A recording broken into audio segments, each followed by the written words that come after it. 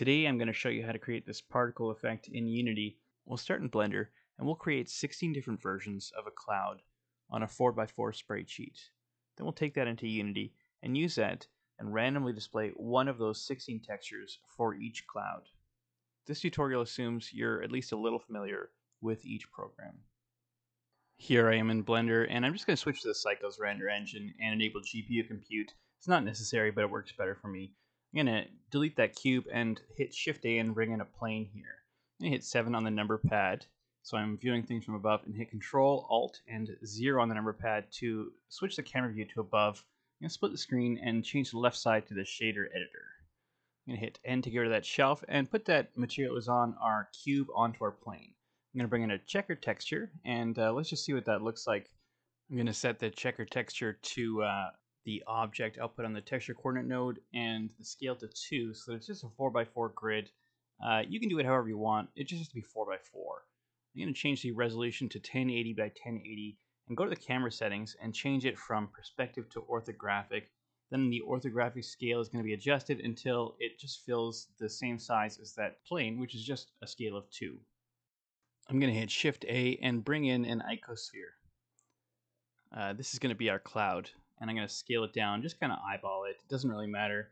Go from uh, the top view again with 7 and just move it into the first uh, plane area there, the first square. And I'm going to add an array modifier. And uh, this is just going to spread it out to the uh, horizontal direction there. And I'm going to put the count to 4 and adjust the factor till it looks okay. It doesn't have to be perfect. Don't worry about it too much. Uh, 1.32 works pretty well. I'm going to add a second array modifier as well. I guess 1.31 uh, second array modifier, and this is just going to be a factor of 0 on the x and negative 1.2 or 1.25, I think I did on the other one. And uh, we'll do the count to 4 as well.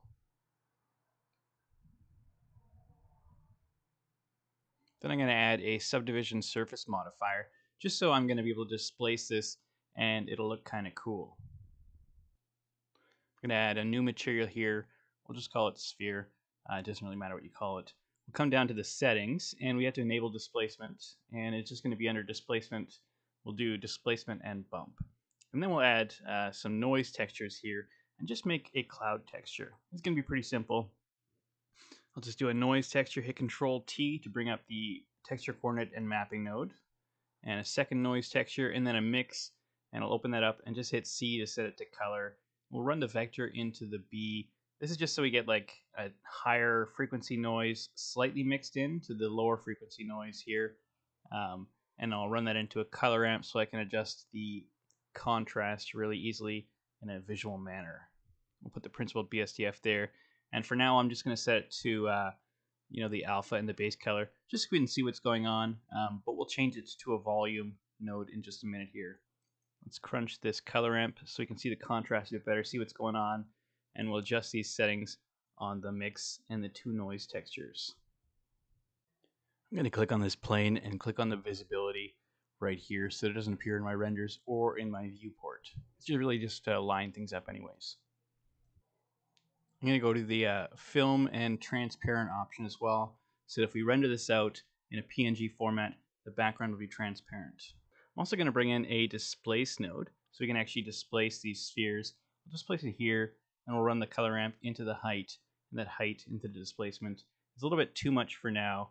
Um, you know, we'll want to back that off. Actually, that's the wrong one. I should be adjusting the scale there. So let's bring the scale down, put that back to 0.5.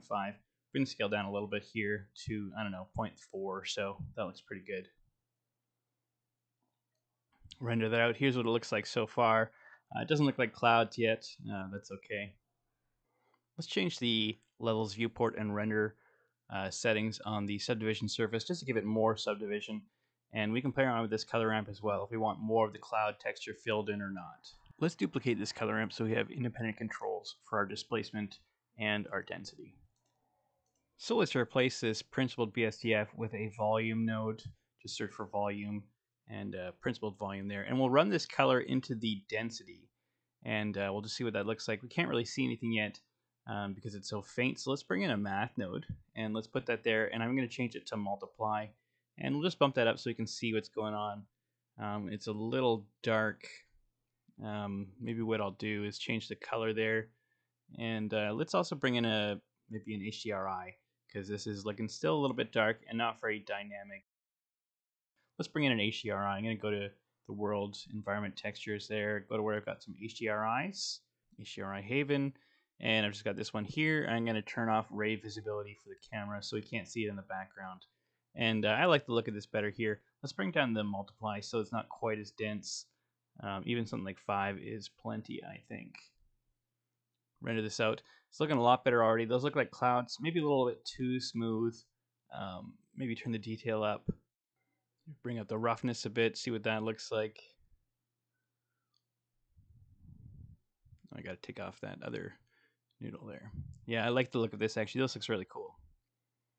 Yeah. Yeah, this looks great. I'm happy with this.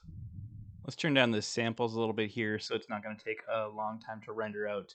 And uh, I'll just hit F12 to render this out. Once it's done, just come on up to image and go save as. And uh, you're just going to select where you want to save this.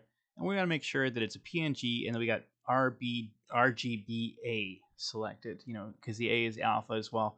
We want that transparency. Now let's call this clouds PNG and uh, we'll just save it. So here we are in Unity. This is just a regular built-in render pipeline project. Uh, nothing special about it. I'm just going to drag the clouds file into uh, the uh, game project window there. And we're going to create a new material. That material is going to have that uh, clouds texture on it. We'll just call this cloud, whatever, I don't know, mat. Let's go cloud mat and we need to grab that and change the type of shader to particles standard unlit. Otherwise the color changing and fading in and out, fading in and out won't work. And we'll change the rendering mode to fade. I found that works best for these clouds. For other stuff you might want something different. Let's drag that clouds into the albedo and you should see uh, the image in the bottom right there. Let's create an empty, this is going to be the holder for the particle system. We'll just call this cloud particles.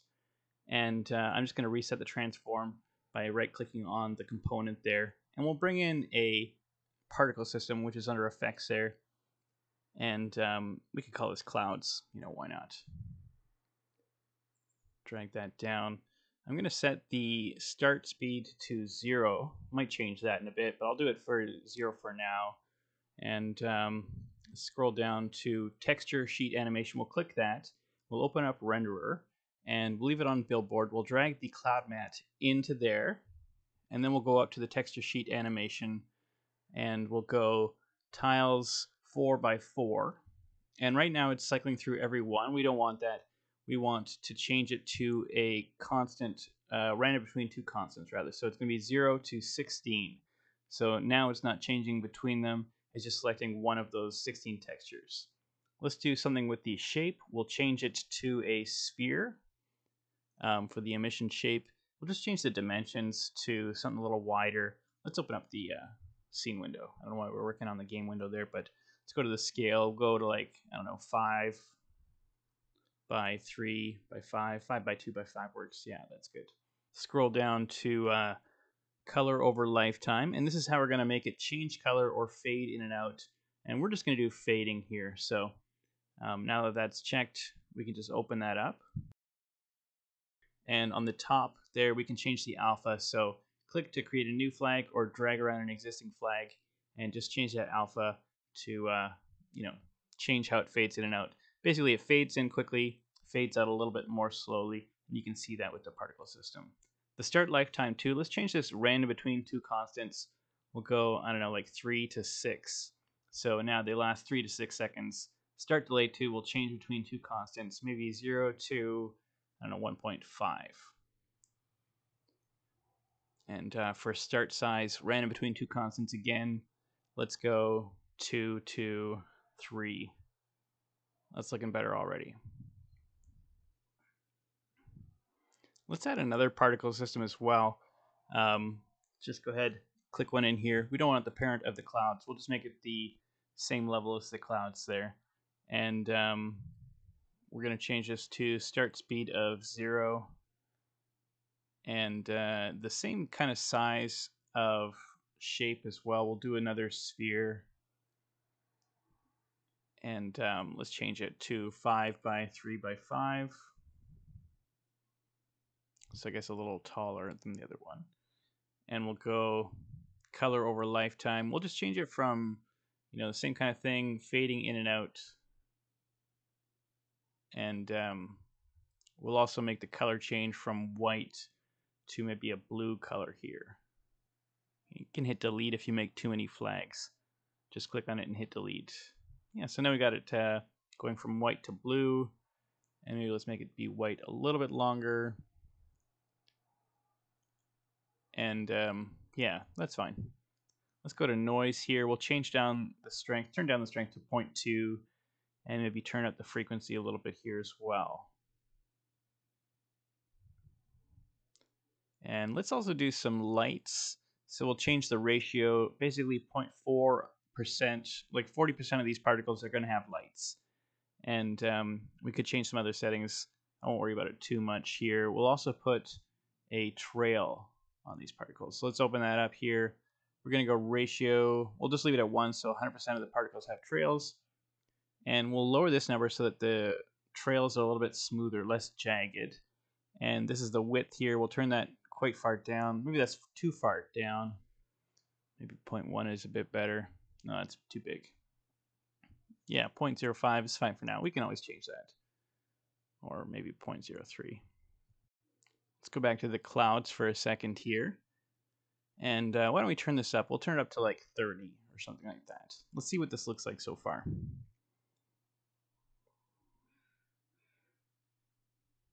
Yeah, it's looking good. Let's go to the particle system there for a second. Let's make it so that they're in front of the clouds as well and change the order and layer to 5. So that means they're going to always appear in front of those clouds there.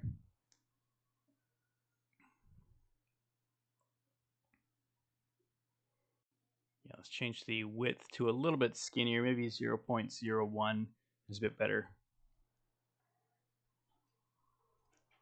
Change uh, random between two constants, uh, 3 to 5. And we'll change the start delay random between two constants, uh, 0 to 2.